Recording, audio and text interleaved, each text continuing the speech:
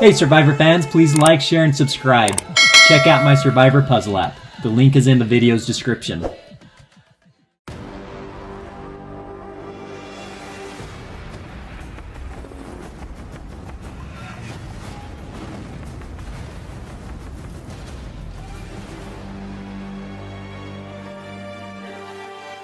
I believe I am most like the survivor David Wright from Millennials versus Gen X and Edge of Extinction because we have similar body types. The way we both act and think is very similar and plus most people will underestimate us a lot more than they should.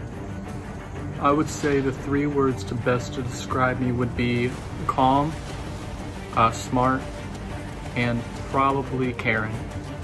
If I didn't win Virtual Survivor, I would want either Andrew or Cody to win because I think they're both playing very similar. They're both on opposite sides of the tribes. So I think it'd be very interesting to see if one of them actually manages to pull this whole thing out and go to the end and have very similar strategies going forward. I believe I can make merge and maybe go deep. It fully depends upon uh, luck and if everything just goes the way I'd like it to go and my tribe stays strong.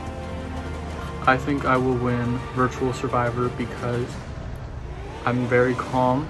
I let most people do the work and kind of just sit in the back and let them do it and they're gonna underestimate me for it. I'm just gonna go right to the end, win the game because I didn't backstab anyone during the game. Everyone else is gonna take all the blood. I'm not gonna take the blood. Uh, Eddie. Eddie seems like a personality who's gonna be a little bit more down to earth. He's to be very quiet, especially maybe in the beginning to middle part of the show if he makes it that far.